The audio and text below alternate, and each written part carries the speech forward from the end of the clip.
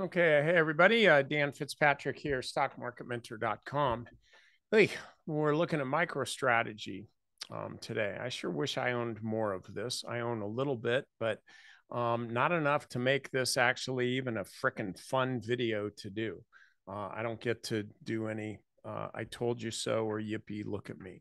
Um, anyway, uh, but I hope you're in a different boat though. Uh, so I just have a little bit. Uh, but here's the thing this thing just keeps going and going and going. Now, I was in our um, training session that Scott McGregor, our crypto market mentor, uh, holds on Wednesdays.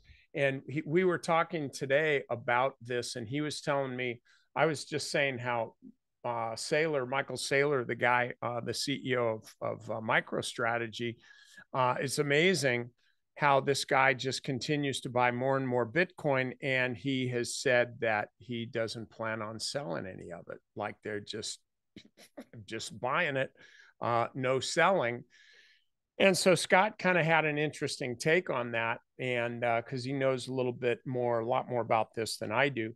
But he said that uh, a while ago, Saylor actually had an interview and he did an interview on this and he said look our underlying business you know we're not growing uh, we're in the in the software business and we're really not growing. And by the way if we look at the fundamentals which i did today during the class uh, if you look at the fundamentals you'll see that he's absolutely uh, telling the truth not that he would have any reason to lie he's not a politician. Um, and uh, so anyway he was uh, saying how they're just not growing. And you look, their revenues are, are flat, their earnings are shoddy, if any at all. And so he said, What we're doing, we got a lot of money, and I'm just buying Bitcoin because it's the best place I can put my money. And then what are you going to do? Well, I'll buy more. And what about after that? Well, maybe uh, what I'll wind up doing is if I need more, I'll issue some debt and then buy more. So the guy basically is using the company and using the company's stock as leverage to go out and buy more Bitcoin. And sure enough, today, after hours, they announced that they a proposed private offering of 500 million bucks in convertible senior notes. So they're taking on more debt that way. And what do you think they're going to do with that money? Well, they're going to buy more Bitcoin. So, what happens after the news today? Um, stock trades down like for crying out loud, almost a hundred bucks, I think, at at one point from top to bottom, uh, and then ultimately, though, it winds up kind of flat, just down a little bit from where it was at the close. And so this is the kind of volatility that's in the stock. It's a very, very tough one um, to hold if you've got any kind of discipline. Now, if you're a total gambler, oh my God, you're having a blast with this thing. Just buy it and hang on till it bucks you off. But when it gets right down to it, this is an extremely risky trade to be in. It's it's a massively risky trade to be in. So, what am I telling you to do?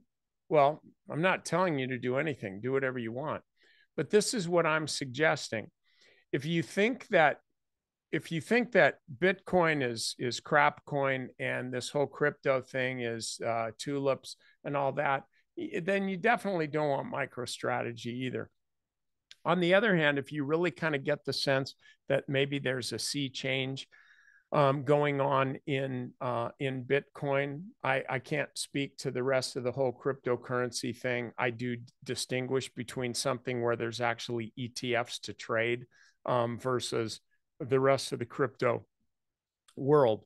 But if you think that this is going higher, as I do, if you think that's going higher, then I think, as stupid as this sounds, I think you can still buy this stock. You just have to have some kind of discipline with respect to how much you're going to buy. And it's not that you'd be concerned that the stock's going to tank and go down to a thousand bucks.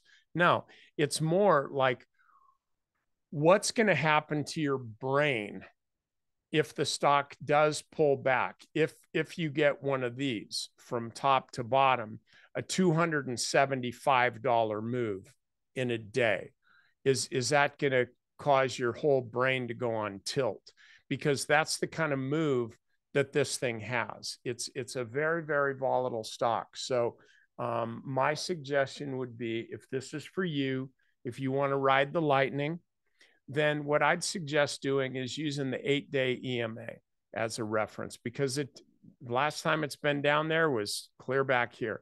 And so then you're buying the stock here, you're going down and you're looking, okay, uh, exponential moving average is 337 bucks below where I'm buying this now. It's 19%. So I'm really going to have to give this stock like 20%. I'm going to have to put a stop over 20% from where I bought this. Now, that seems like a pretty wide stop, and it is. But in just one day, the stock went up over 10%. So the question is is it really a wide stop? And my answer is not for MicroStrategy. What you have to do on that is you have to manage your risk by your position size and what your expectation is if the stock moves freaking two or 300 bucks in a day. What are you going to do? Get that planned out in advance because if you don't, then whatever you do find yourself doing is probably going to be the wrong thing. Okay, that's all I got for you. Uh, if you haven't tried Stock Market Mentor, give us a shot, baby. 14 days, it's on the house.